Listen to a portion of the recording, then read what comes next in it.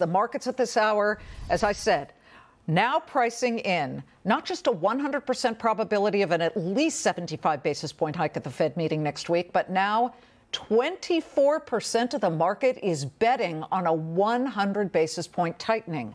So as the markets tank, we have Team Fox Business coverage. Joining me now for the floor show, Northwestern Mutual Wealth Management CIO Brent Schutte with 237 billion in assets under management. He believes the market has put in a bottom Euro Pacific Capital Chief Economist and Global Strategist Peter Schiff is probably shaking his head, I can only imagine.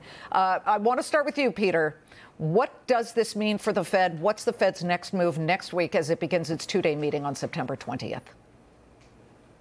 Well, the Fed is going to hike rates. I doubt they'll go 100 basis points, but even if they did, it would not matter. You know, I don't understand why markets are still surprised when you get higher than expected inflation numbers. Inflation is going to continue to get stronger even as the economy gets weaker. And in fact, the Fed actually falls further behind the inflation curve every time it hikes rates because these rate hikes are too little too late.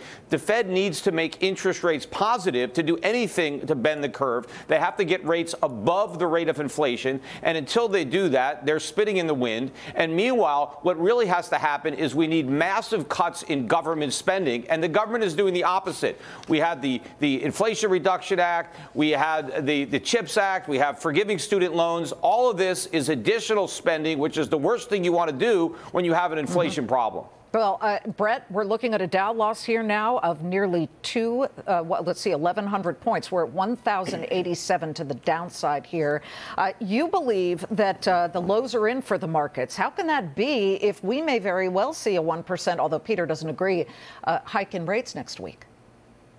Well, I don't think you're going to see 1% hike in rates. I agree with Peter on that front that you'll see 75 basis points. Look, the reason why the market's down so much is all the forward looking data continues to point to lower inflation.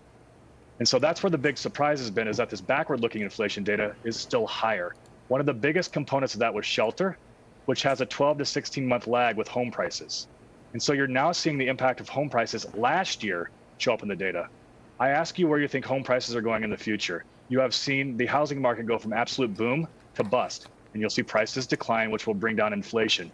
If I take you back to the 60s, 70s, and 80s, when CPI peaked, the market bottomed.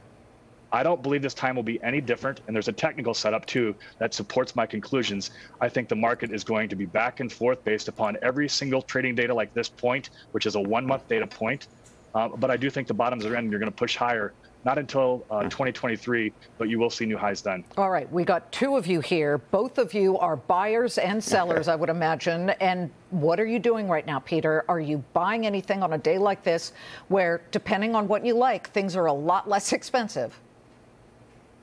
Well, first of all, it, it is possible that the market will bottom when inflation peaks. Unfortunately, we're years and years away from a peak of inflation. This is not 1980. It's more like 1970. This is just getting started. Okay, it's but what are you buying then? finishing. So well, I'm buying the same stuff I've been buying for a decade preparing for this inflation. It didn't just start now. You know, the Fed sold the nation's soul to the inflation devil uh, back in 2008 when it did QE. And so now the devil is back to collect. Uh, but I'm, I'm prepared. I've been buying foreign stocks. I'm buying resources, commodities, uh, gold, gold uh, mining down. stocks, all the uh, things that are going to shine. Gold chart here, folks. Uh, we are looking at gold at the moment down about one and a third percent to it's about a loss of 23 bucks bucks to 1,713, uh, 26 bucks actually. Uh, and and let me then shift it over to Brent for the moment. Are you buying on a day like this, or do you wait till the dust settles? No, we're, we're fairly happy with how we're positioned. So we have owned commodities, we've owned TIPS in the past, and so we did think this inflation was coming based upon what happened during COVID, and as Peter mentions in the prior years. Mm-hmm. I just think a lot of what's happening right now is the aftershocks or the after effects of the giant shift in the economy that you saw from services to goods and it moving back towards some sort of normal.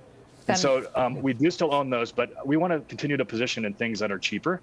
So Peter mentioned foreign stocks. I don't disagree there. And we like U.S. small caps as represented by the S&P 600, which traded 11 times uh, 2022 earnings, which may be discounted, but still that gives you margin of safety versus their normal um, more, you know, 18 to 20 valuation. Hmm. You know, we're looking at session lows for the Nasdaq here, down about 562 points. The Russell getting clocked as well, down 3.6 percent. Uh, Peter, speak to our investor audience before we go here. What is your best piece of advice at the moment?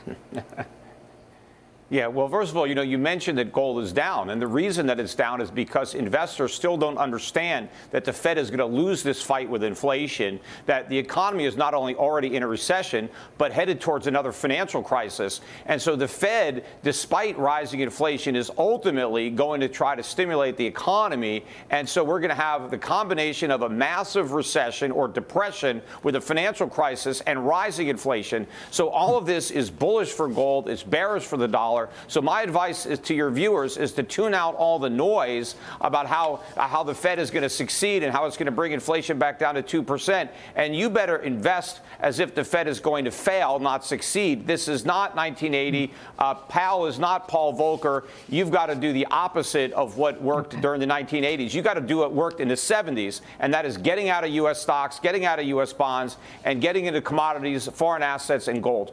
Uh, I feel so much better now. Uh, not Peter Brent. Glad I can help. Thank you. Thank you very much. All right.